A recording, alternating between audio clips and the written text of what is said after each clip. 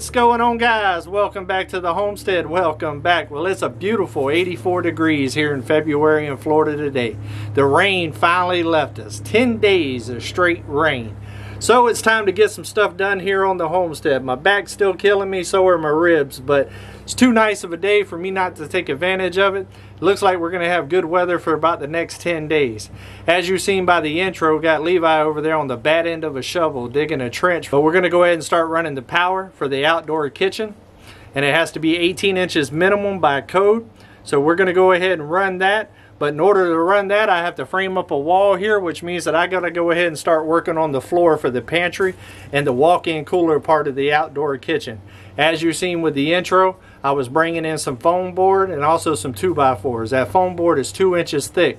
We're going to lay that down first and then put the plywood on top of that. That should give good insulation on the floor.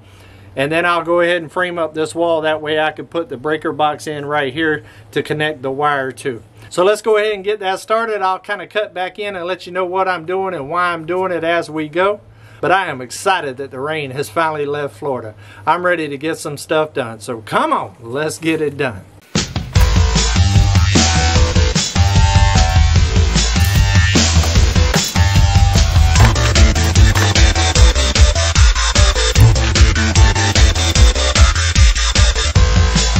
What we're to do is get our first two runs of foam board down.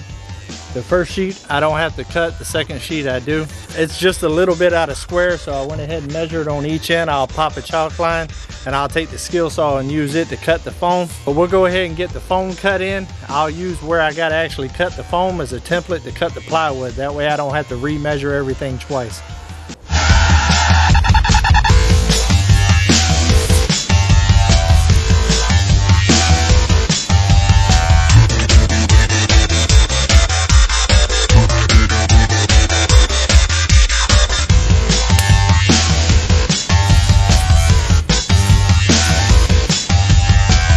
Safety first, come on.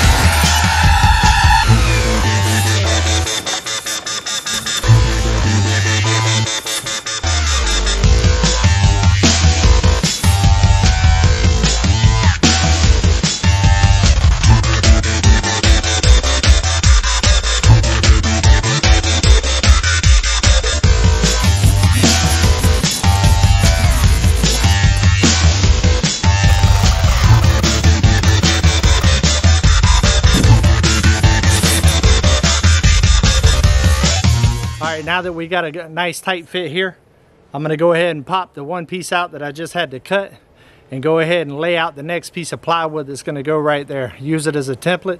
That keeps me from having to measure the plywood and lay everything else out twice. But fit together real tight as you can see. It's gonna work out real good.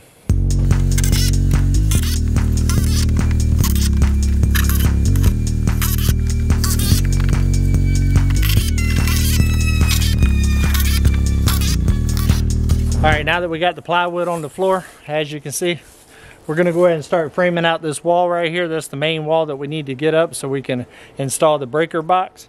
We're gonna do the studs 16 inches on center. Probably only gonna frame out this wall right here on this video and go ahead and get the breaker box installed and then we'll go ahead and put in the pipe, pull the wire, get everything hooked up, and we'll be in there like swimwear. Come on.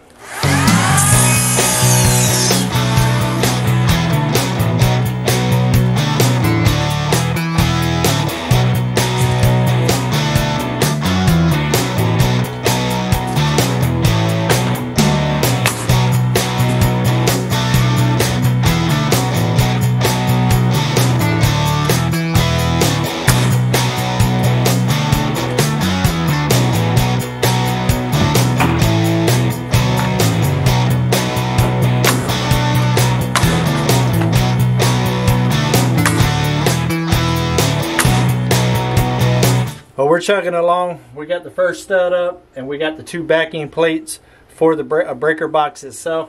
So we're going to go ahead and install the breaker box and drill the hole in the floor. That way we can go ahead and run the pipe up. But I'm not really worried about getting the whole wall built right now. I just want to get the breaker box in there and go ahead and get the hole cut in the floor. That way we can go ahead and get the wire pulled and the pipe covered. I can always frame out this wall whenever I'm ready to put the siding on and to close this room in. So let's go ahead and get the breaker box installed and go ahead and get that uh, hole cut. Come on, we're making progress. It's hot out here today though. Sweating in February. Come on. Might be some on the inside.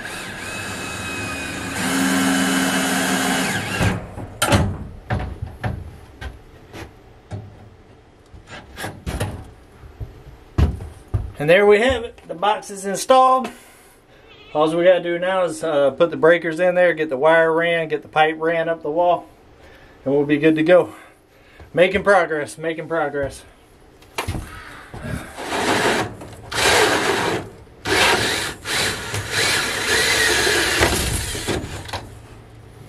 Well, we just about got all the pipe laid down and glued into the trench. Now all we got to do is work on the sweeps on both ends bring it up into the building over there and over there bring it up into the main power box. We're getting there. Man it's hot today though. Got a little sweat happening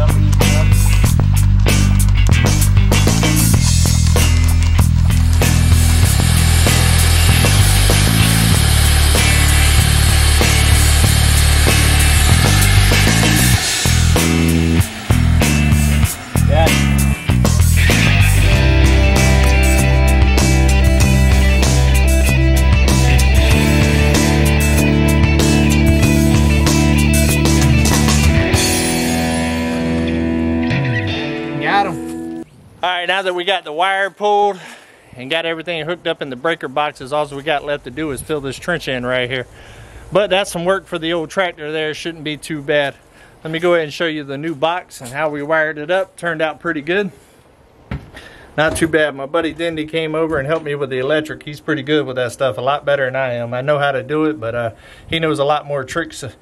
He knows a lot more tricks to the trade than I do. Come on. We got the new wires coming in. Got everything taped off with the green, the white. That's 6 aught wire. I got a 60 amp breaker on the other side. This right here can handle with the 6 aught at about 75 feet is about what we're running. It actually handle probably about 75 amps, but I just all I need is about 60. I'll never use more than that out here. So we put a 60 amp breaker on the other end to feed it. And then that 30 amp right there is where I'm going to actually use for the dryer. I got my dryer right now out there in the bushes. So we're actually going to put that up underneath this part of the lean-to right here in the washer and run it and have me a nice little uh, old country boy laundromat. Come on. But we're going to end up putting it right here up underneath this cover, the wall the wall for the pantry and the outdoor cooler is going to be right there. So we're going to put the washer and dryer right there. Be able to plumb it out so the water will go out that way. And have me a nicer little area to actually do laundry. I'm actually going to put some gravel and stuff in here. That way it's not all dirty. Maybe even build me a folding table here. Make laundry a little bit easier out here in the woods. But we're getting there. So we're going to go ahead and get this ditch filled in and then I'll cut back in and we'll close it out. Come on.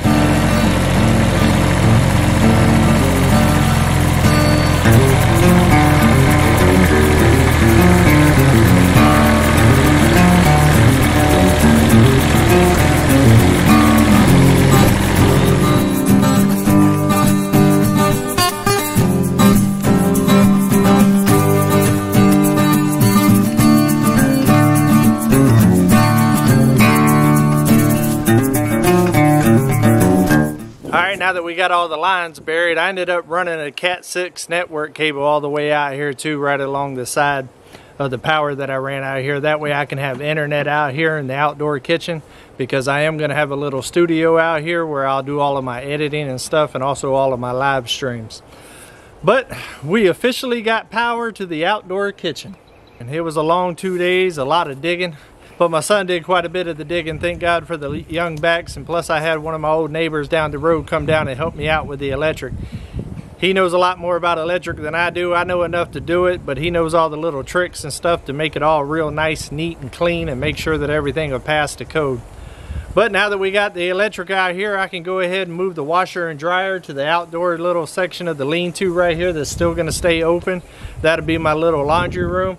And I'll go ahead and start framing out this wall and the other walls for the outdoor cooler. And this is the pantry area right here where the breaker box is actually at. So looking forward to it, excited. We're making progress now that we got some good weather here in Florida. But I think we'll go ahead and close it out for this one. So until we see each other again, guys, come on, let's go homestead.